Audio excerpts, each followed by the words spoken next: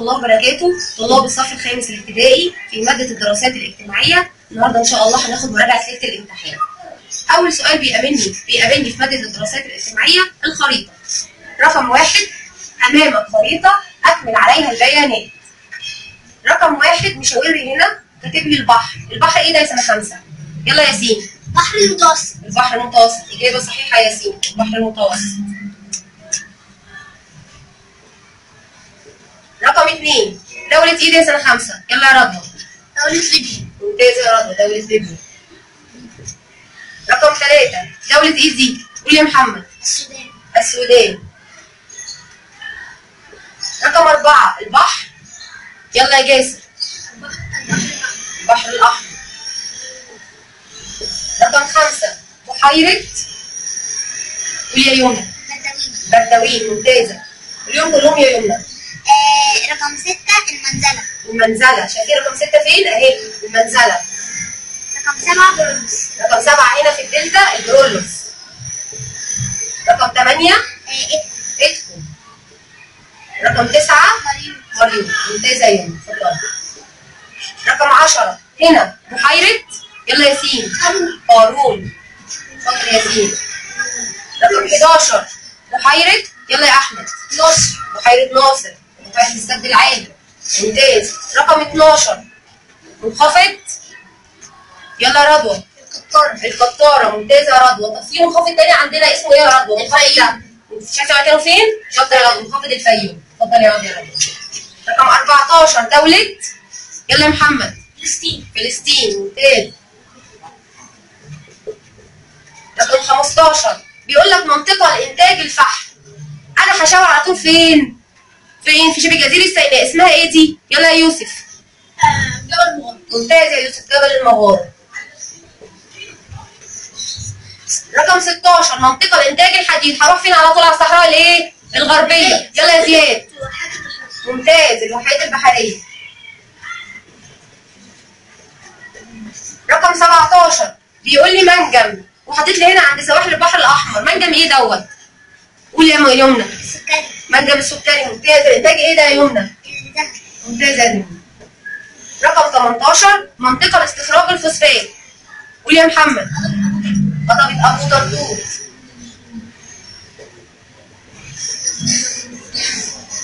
طب لو جالي هنا يا سنة خمسة وقال لي محافظة إيه دي هقول له إيه؟ وادي الوادي جديد. ممتازين محافظة الوادي. الجديد. محافظة الوادي الجديد. شطور طيب. رقم 19 منطقة لاستخراج المنجنيز. منطقة لاستخراج المنجنيز. يلا يا فرح. برافو. أم بجمة. هي رقم 19 هي شبه جزيرة سيناء. أم بجمة.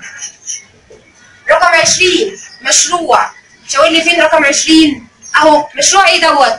قول يا شروق. طلعت السلام ممتازة. ترعة السلام. رقم 21 مشروع. أهو. في وش على طول بحيرة ناصر. يبقى اسمه إيه؟ قول يا جاسر توشكا برافو عليك مشروع توشكا رقم 22 ها عند جبل العوينات اسمه مشروع إيه؟ قول يا آية شرق العوالي ممتازة شرق العوينات رقم 23 مشروع إيه؟ قول يا شهد الفرافرة طيب 24 جايب لي 24 قناطر قناطر إيه دي؟ قول يا محمد ممتاز نجا حمادي. طيب 25 قناطر إيه دي؟ قول يا يمنى. قناطر اسنا طيب لو جاب لي 26 شايفين مكانها فين؟ فوق بحيرة نصر على طول. قال لي محطة كهرباء إيه؟ هتبقى محطة كهرباء إيه؟ قولي يا ملك. ممتازة يا ملك السد العالي. واللي فوقيها يا ملك. محطة كهرباء ممتازة خزان أسوان يبقى إحنا كده أكملنا الخريطة على قد ما نقدر إن شاء الله. السؤال الثاني فيما تفسر قيام الزراعة في الساحل الشمالي. فيما تفسر قيام الزراعة في الساحل الشمالي. يلا يا مريم. انت اعتمادا على مياه الأمطار الشتوية. ممتازه يا مريم اتفضلي عاطف السؤال الثاني اهتمام الدولة بتنميه الثروة السمكية. ليه الدولة بتهتم بتنمية الثروة السمكية؟ يلا يا محمد كمال. يلا يا محمد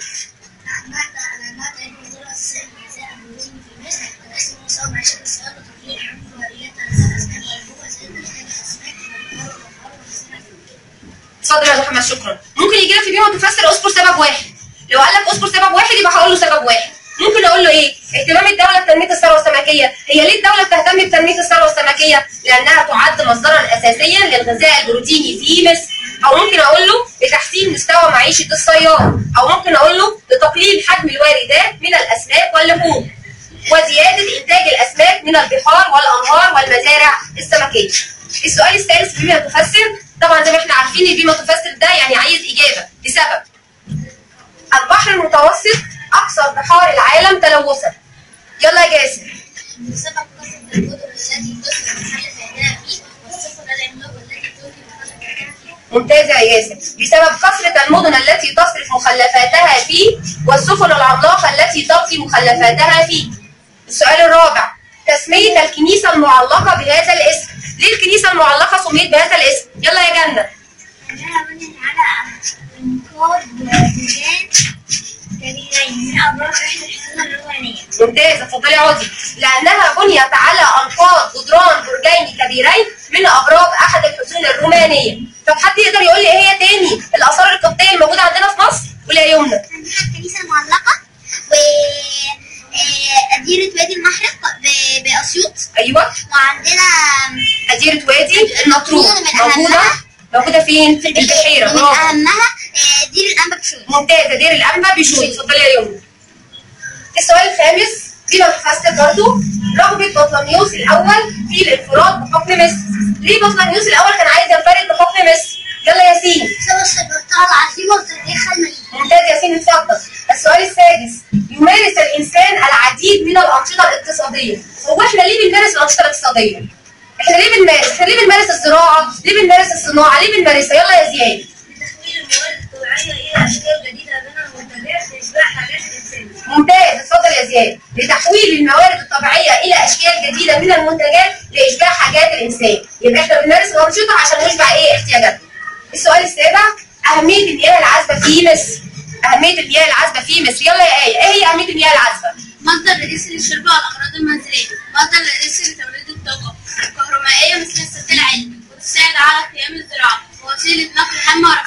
برافو يا اتفضلي يا أهمية المياه العذبه زي ما إحنا عارفين مصدر رئيسي للشرب والاغراض المنزلية مصدر رئيسي لتوليد الطاقة الكهربائيه السد العالي وتساعد على قيام الزراعه ووسيلة نقل هامة ورخيصة. السؤال الرابع إنشاء ميناء دمياط بما تفسر.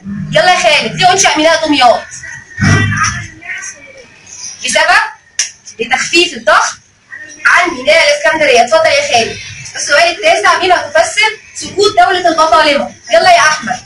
تحفة ملوك بعد بطليموس الثالث ثور- ثورات المصريين ضد حكم البطالية البطالمة زيادة نفوذ روما بدخلهم في شؤون مصر وخاصة في عهد حروب الثورة. ممتاز ممتاز سقوط دولة البطالمة وزي ما قلت لك اكد هو عايز منك سبب واحد ولا دي متفسر لو سابها لك كده دي متفسر لازم اكتب له إيه ثلاث نقاط ضعف الملوك بعد بطليموس الثالث ثورات المصريين ضد حكم البطالمة زيادة نفوذ روما وتدخلها في شؤون مصر خاصة في عهد كليوباترا السبعة السؤال الثاني يجي يقول لي صوت ما تحته خط تم صك أول عملة معدنية في عهد أكتافيوس.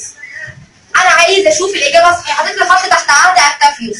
هكتب في عهد مين؟ اتفضل يا زياد. ممتاز. هقول في عهد مين؟ بطليموس الأول.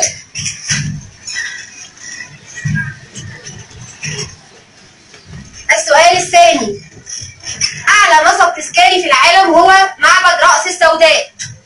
يلا إيه عمود السواري. عمود السواري هشيل راس السوداء طبعا تبقى عمود السواري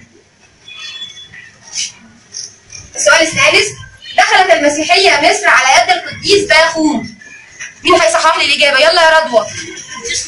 القديس مرقس ممتاز يا رضوى. السؤال الرابع أكبر أديرة مصر والشرق الأوسط هو دير الأنبا بيشوي يلا يا محمد؟ برافو عليك. دير المحرق أو المحرق هو دير السيدة العذراء السؤال الرابع أكتب المصطلح العلمي زيادة منسوب المياه عن مستوى ضفتي النهر في موسم معين. ده تعريف إيه؟ يلا جاسر. الفيضان. ممتاز يا جاسر. تعريف الفيضان. السؤال الثاني يستخدم في صناعة الأسمدة الزراعية والمبيدات الحشرية. يلا ياسين. الفوسفات. الفوسفات عايز أكتب معدن الفوسفات. شاطر يا ياسين. السؤال الثالث. انتقال السلع والخدمات بين الدولة ودول العالم. ده تعريف يلا يا يمنى. تجارة خارجية. برافو تجارة خارجية. السؤال الرابع. عملية يتم فيها فصل مكونات البترول. ها ده تعريف إيه؟ قول يا ملك. تكرير البترول. تكرير البترول. طب حد يقدر يقول لي إيه هي مشتقات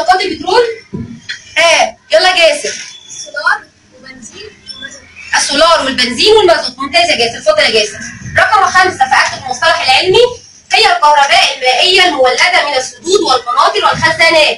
ده تعريف إيه؟ يلا رضوى. الكهرباء الحرارية. لا يا رضوى مش الكهرباء الحرارية ده تعريف إيه؟ قول يا محمد. الطاقة الكهرومائية ده تعريف الطاقة الكهرومائية اللي بتتولد من السدود والقناطر والخزانات ده تعريف الإيه؟ الطاقة الكهرومائية الطاقة اتفضلي يا رضوى. الكهرومائية طيب رقم ستة اكتب المصطلح العلمي. هي الكهرباء المولدة من احتراق الفحم والبترول والغاز الطبيعي. ده تعريف إيه بقى؟ ها قول يا ياسين الطاقة الحرارية الكهرباء المولدة من احتراق الفحم والبترول والغاز الطبيعي. ده تعريف إيه؟ قول يا جاسم. الكهرباء الحرارية اسمها إيه؟ الكهرباء الحرارية. الكهرباء الحرارية. ما النتائج المترتبة على آخر سؤال معانا. ما النتائج المترتبة على رغبة بطلميوس الأول في الانفراد بحكم مصر. ليه بطلميوس الأول كان عايز ينفرد بحكم مصر؟ يلا يا زياد. أدى إلى تأسيس دولة البطالمة في مصر. آه ما النتائج؟ أدى إلى تأسيس دولة البطالمه في مصر. فرق بين بما تفسر رغبة بطلميوس الأول في الانفراد بحكم مصر بسبب إيه؟ أهو بسبب ثرواتها العظيمة وتاريخها المجيد. وهنا ما النتائج؟ ما النتائج؟ أدى إلى تأسيس دولة البطالمه في مصر. طيب. السؤال الثاني في ما النتائج. تلوث سواحل البحار والبحيرات في مصر. أدى إلى إيه؟ يلا يا محمد. أدى إلى قلة الثروة السمكية وتلوث المياه في مصر. طيب لو جينا خدنا آخر سؤال معانا ماذا يحدث إذا؟ زادت صادرات مصر إلى دول العالم. لو صادراتنا زادت إيه اللي هيحدث؟ قول يا يمنى. الحصول على العملات الأجنبية. وزيادة الدخل قوي وتنمية التجارة الخارجية. ممتازة يا يمنى. الحصول على العملات الأجنبية وزيادة الدخل القومي وتنمية الصادرات وتنمية التجارة الخارجية. وممكن أقول لك كمان إيه؟ توفير فرص عمل توفير فرص عمل للشباب. السؤال الثاني ماذا يحدث إذا تجمدت البحار في مصر؟ لو تجمدت البحار يلا يا أحمد. عدم وجود نقل بحري عدم وجود مواني وعدم استخراج البترول من قاع البحار. وعدم استخراج البترول من قاع البحار. عدم وجود نقل بحري عدم وجود الموانئ طبعا على البحر الأحمر سواحل البحر الأحمر سواحل البحر المتوسط. وعدم استخراج البترول